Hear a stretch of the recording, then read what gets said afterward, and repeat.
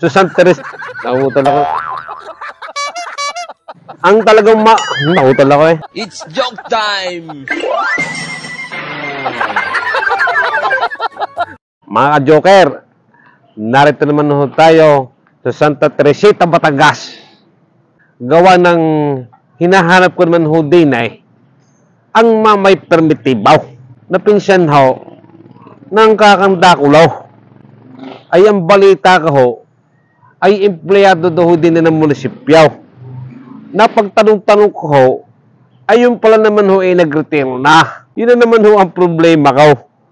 Saan ko na naman makikita yaon? Kaya ho mga kababayan ko din sa Santa Teresita ay pakitulungan ho niya ko mahanap ang mamay permitibo. Yun ho ay dati nagtrabaho din sa munisipyo.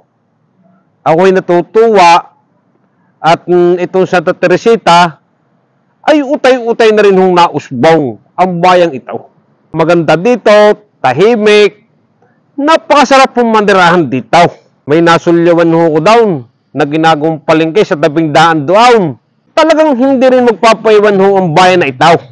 Ang pakay ko talaga ay makita ho ang mamay primitibaw.